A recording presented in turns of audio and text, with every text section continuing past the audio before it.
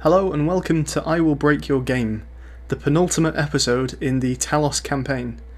Today we're dealing with levels C5 and C6, which means that after this we've only got one level left to go. We're going to begin by stacking these boxes to take the uh, jammer away from the mine safely. And then we're going to run back to the start of the level with the jammer and with both cubes. It's not necessary to jam the mine, but why not? It does make things a little bit easier. And we're going to stack the cubes in this corner here. What this will allow us to do is to jump onto the stack of two cubes from the rubble just by them, and then we can get onto the wall. And we're going to take the jammer with us as well. So we're actually not going to break the puzzle that we're currently in just yet. We're going to go and use this to break another puzzle. So take a jammer out with you, and also take a box out with you as well. You should be able to grab the one from the top of your stack of two cubes. The next thing we're going to do is head over to these columns here. So jump to the first raised column, and then jump to the next column. It's a slightly precise jump, but it's not too bad. You can put down the cube now, don't worry, it will push you off, that's not really avoidable.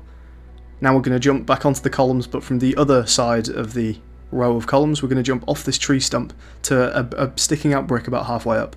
When you land on there, you can get onto the top of the column, and then jump across and land on the cube. Now from here, we're going to jam a fizzler that you can just see over the top of a wall there. The idea is that the jammer is going to fall down, hopefully knock the cube off the column that we're stood on, and have the jammer remain at the top of the column. My first attempt there didn't work, that might happen a few times, but hopefully when you get it right, it should do something like that, and you should be left with the jammer balanced on the top of the column. Now, nice and easily, you can just run into this puzzle, take the cube, put it on the button, and that's it. You can just run all the way to the end, we've just jammed the fizzler that was in front of the sigil.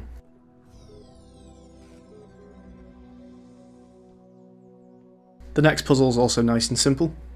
Take the cube, and we're going to come to this tree here. If you put the box just by the tree, then you should be able to get a jump prompt onto this wall. Uh, I actually couldn't find it here, so just if you can't get it, move the box around until you can see it. Try and get the box on fairly raised ground, and then you should be able to get a jump prompt over to this wall. Uh, once you do that, the sigil chamber is just next to us here, you can just jump straight in the puzzle, and there it is. Um, this ladder here will let you get out without having to reset.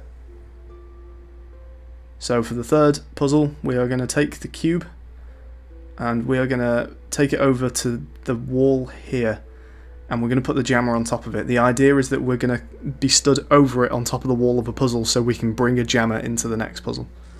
So take the jammer with you. Um, firstly, we're going to use it to jam this fizzler here and get two boxes out and then we're going to go and take the jammer and put it on the box that we had by the wall. Head back into the puzzle, take both cubes and then stack them on the, the stair banister here.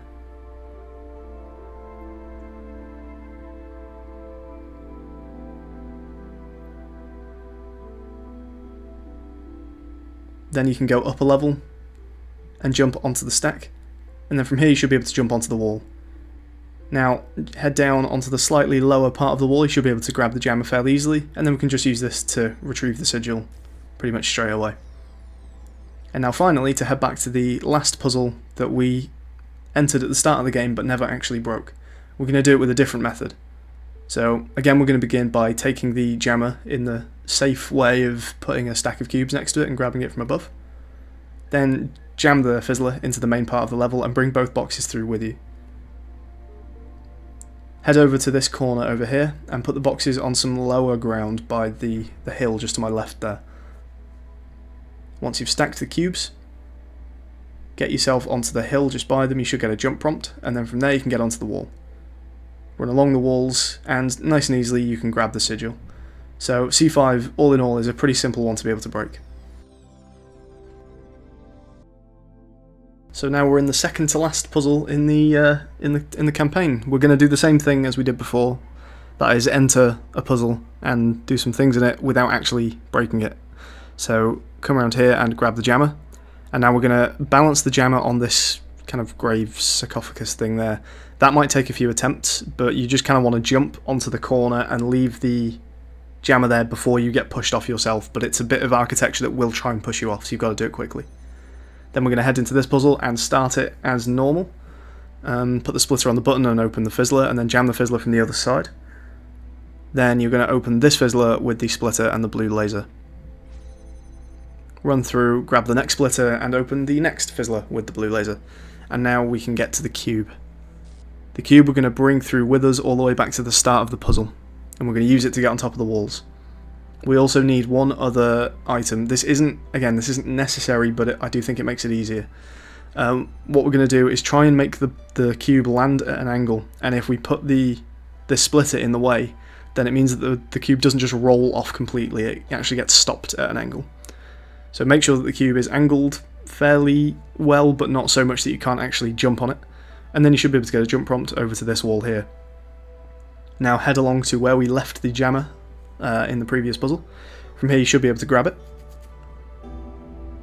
Uh, and then we're going to take this back through with us to the other puzzle.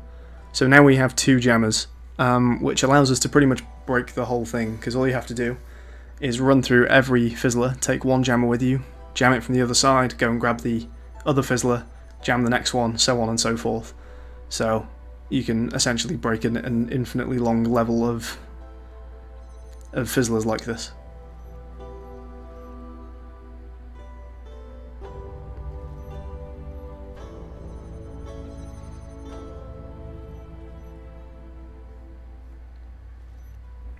Once we're through to the last chamber, we're going to jam the fizzler there, and then once we're inside, jam the mine, and then take the final fizzler, uh, jammer, jam the final fizzler, and grab the sigil. So now we're going to start by doing the same thing, jump on the angled cube and head over into this level. And this time we're going to run along the walls. Make sure you jump this arc here because that is more architecture that will try and push you off. And also don't fall off to the left there because that ground isn't solid. You'll just fall through the map. Uh, run along these walls, you can get along this fizzler. Um, none of the turrets, I think, pose a threat at all. I don't think from the walls any of them can actually shoot you. Watch this fence, uh, or door, I think it's a door, but you won't be able to jump back up from there, it's too low. And then you can get into the sigil chamber and grab the sigil.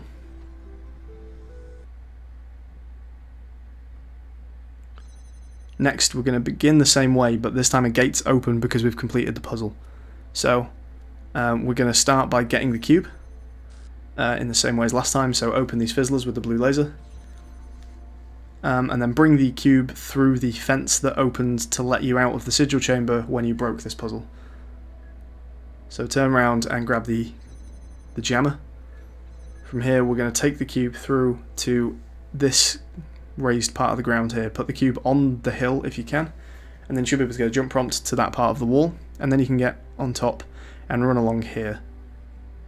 And then from here, uh, there's a Minecraft sword down there. From here, you can make a jump over into this sigil chamber, and that is C6 complete. Thank you very much for watching this episode of I Will Break Your Game. I will see you next time for the finale.